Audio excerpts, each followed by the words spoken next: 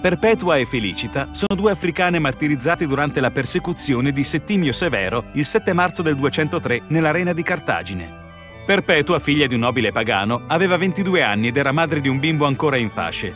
Felicita, la sua giovane schiava, diede alla luce in carcere una bambina e questo parto le permise di partecipare al martirio. Furono incarcerate entrambe con i santi Saturnino, Revocato e Secondulo e poiché erano tutti catecumeni furono battezzati in prigione.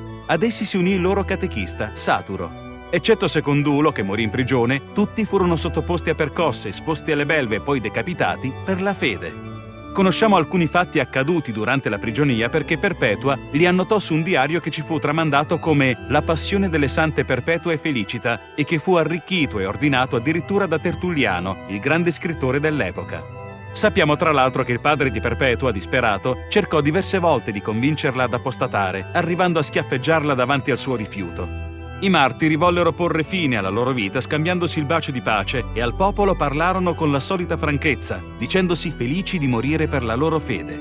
Di fronte a tanta fortezza d'animo, numerose persone si convertirono. Per primi furono uccisi gli uomini, legati a un palo ed esposti ai morsi di un leopardo e di un orso. Poi toccò alle donne, le quali, dopo essere state prese a cornate da una mucca infuriata, mentre si tenevano per mano, furono portate al centro dell'arena per essere sottoposte al taglio della gola.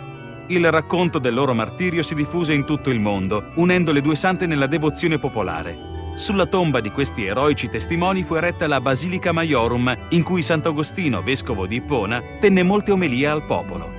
Perpetua e Felicita furono ricordate anche a Roma nella Depositio Martirium al 7 marzo e i loro nomi vennero inseriti nel canone della Messa.